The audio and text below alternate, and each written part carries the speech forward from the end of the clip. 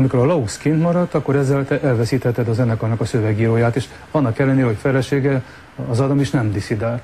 Tehát tulajdonképpen te dolgozhattál volna tovább is az Adamissal. Persze, de ez a dolog valamiért törvényszerű volt, hogy, hogy akkor új életet indítunk. Hát már akkor dolgoztunk az Orán lemezen, és akkor és szerettem volna, hogyha a Dusán én aztán rájöttem arra, hogy, hogy ez az együttműködés, ez nagyon, nagyon jó, és akkor a zene mindenki másképp csinálja lemezre, fölkértem a Dusánt, hogy írja. A hőskorban már megtanulta minden bemondó, Tilos rögtönözni, a leírt szöveg felolvasandó. Máskottázát és Filodásvilit kevesen ismerték, azt tudtam minden hallgató, hogy a hangjuk milyen szép. Nagyon élveztem a Dusánnal való együttműködést. Szanaszét füstöltük a szobákat, tépkedtük a papírlapokat, ordítottunk a zongorán. Olyan jó volt, hogy élet volt benne. Aztán megöregedtünk, és most már sokkal csendesebben csináljuk az együttműködést. Ti barátok is vagytok? Az kell hozzá? Ha azt hívott barátságnak, hogy együtt járunk strandra, meg kirándulni, meg nyaralni, vagy, vagy hogy sokat ülünk együtt, akkor nem. Akkor nem vagyunk barátok, de, de mi barátok vagyunk. Én a zenémet adtam neked, de az árából nem kaptunk semmit, és mi együtt árultuk éveken át. Ugye mi jó barátok vagyunk, ugye mi jó barátok vagyunk. De hát az a képi a rólad, hogy te egy ilyen emberkerülő, magányos maszkó vagy. Nem. Nem, nem. nem. Én nem vagyok oda a nyilvánosságért. Tudod? Tehát én nem szeretek oda menni, ahol, ahol biztos, hogy fotóznak. Tudod? Tehát eh, nyilván ez a mi szakmánkban kell. Tehát Há, hogy nem? ezt nagyon sokan nagyon jól csinálják, hogy oda kell menni, ahol történnek a dolgok, ott kell lenni. Én meg nem szeretek oda menni, de hát én inkább vagyok. Tehát nekem jobb, hogyha a, dalaimat meghallgatják, és azt mondják rá, hogy valami, mint hogy azt mondják, hogy jaj, te festetted a hajad? Na, és akkor most menjek és mutogassam, nem, de én így üszülök, hogy még itt kevéssé, itt már nagyon. Most mit? Nem, nem, nem, nem nekem kell előállni. Az én igazam nem biztos, hogy neked nagyon jó, de mind a ketten várjuk azt az elfogyott, elhagyott, elrabolt, ellopott, egy, két, elfelejtett szót. Azt olvastam valahol egy internetes oldalon, van egy ilyen kis lexikon címszó, azt mondja, hogy név Presser Gábor, foglalkozása médiasztár. Na és nem én írtam, hát azt ír mindenki, amit akar. Mi vagy te? Nyilván van olyan valaki, aki olyan jól el tudja mondani, hogy ő micsoda. Én még gondolkozom rajta, hogy én mi vagyok, mert úgy Isten igazából nem is biztos, hogy szeretném, hogy az eldőljön. Na de van, ahol, van, ahol muszáj, hogy címkét akasztanak, amikor Kossuth meg hasonlókat szokták kapni, akkor ugye ott kiírják, hogy Presser Gábor zeneszerző és előadó művész. Ez a Hát fontossági ez így sorrend? lehet, igen.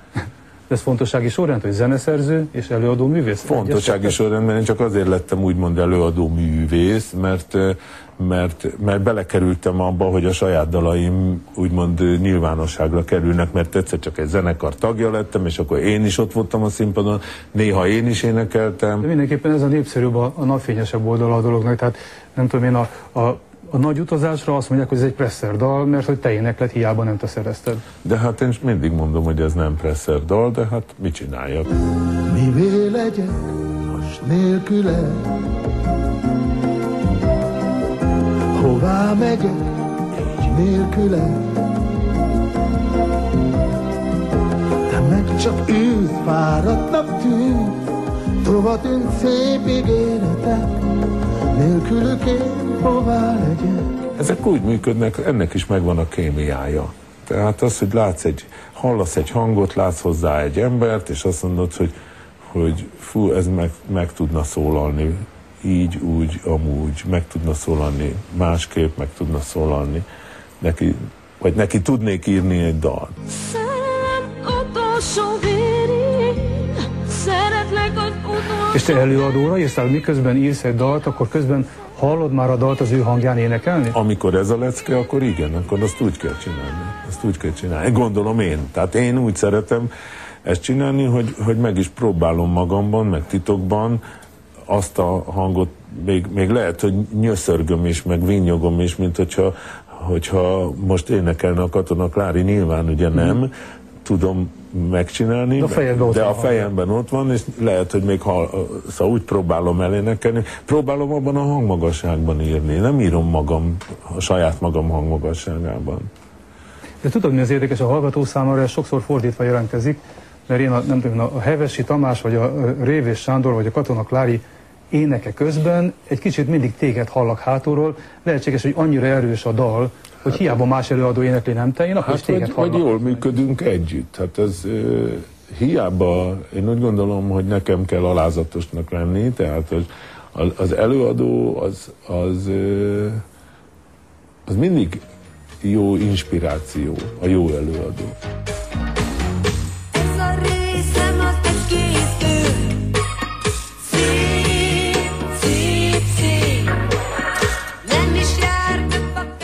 Neked ugye 1977-ben lett először igazi munkakönyves állásod a Vígszínházban, mégpedig a szerződés szerint a mindenkori legalacsonyabb munkabérért.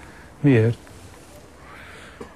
Hát azért, mert Árkonyi úgy gondolta, hogy neki kell egy jól dolgozó zenei vezető, de hát erre nem kell pénzt áldozni, mert ő úgy is kapja a darabok után a jogdíjat, tehát két legyet egy csapás, és beíratta, hogy a mindenkori legkisebb fizetéssel. Nekem meg egy akkora megtiszteltetés volt, hogy én dolgozhatom a Várkonyi Víg Színházában, vagy hogy egyáltalán a Víg Színházban, hogy én nekem ez a mondat is megtisztelőnek tűnt. Ugye te mindig azt sugallod, hogy te imádod a színházi munkát. És ezt az nem első... sugallom, én ezt ordítom. Az első években, nem tudom én, két-három évente írtál egy-egy musicalt, aztán az utóbbi húsz évben már nem dolgozol musical szerzőként, azt hiszem a padlás óta. Miért nem? Hát de igen, mert például csináltuk a Szent István körúton, de az mondjuk nem is musical volt, hanem igen. olyan, nem tudom pontosan. Vitemény, vagy nem tudom mi. Igen, hát figyelj ide, valahogy az, ez zeneszerző úgy működik, ahogy az élet hozza.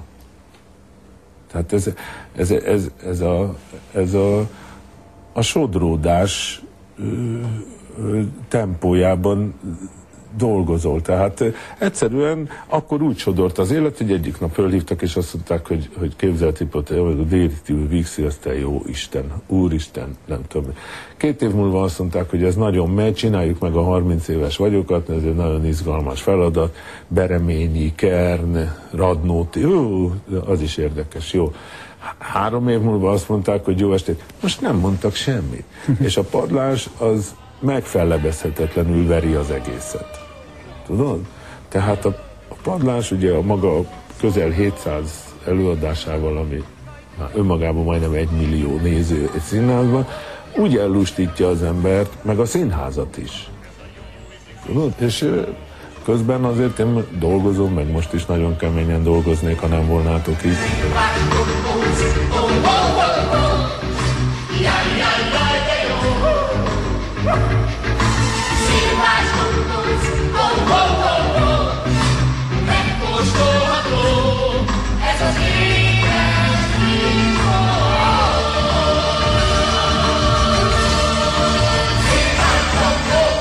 Csinálsz, vagy csináltál már musicalt, balettzenét, zenés hangjátékot, rengeteg filmzenét, és nagyon-nagyon sok dalocskát.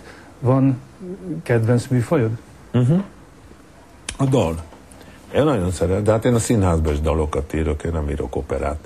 És a dal, a dal az tetten érhető, ellenőrizhető, mindenki tudja, milyen egy dal, mindenki azt tudja mondani, ezt a dalt szeretem, ez jó dal. Azt elmagyarázni, hogy ez jó oratórium, hát azért itt most itt ülünk tizen, ha most megkérdeznék valakitől, hogy milyen a jó oratórium, elég nagy bajba lenne a magyar televízió delegációja, itt beleértve téged is. Meg engem. Azt meg sem merjük mondani, hogy te jó ég, ez milyen rossz volt. No, nem tudjuk biztosan, hogy milyen a jó. Hát operában se tudjuk biztosan, hogy milyen a jó opera, hogy gondoljuk, meg hát persze tetszett, meg, meg érdekes is volt, meg láttuk, de, vagy, vagy, vagy untuk, vagy hosszú volt, vagy nem tudom. A dal az egy nagyon-nagyon jó műfaj. Itt van három és fél perc. Öcsém, ez dal, ez rendben van.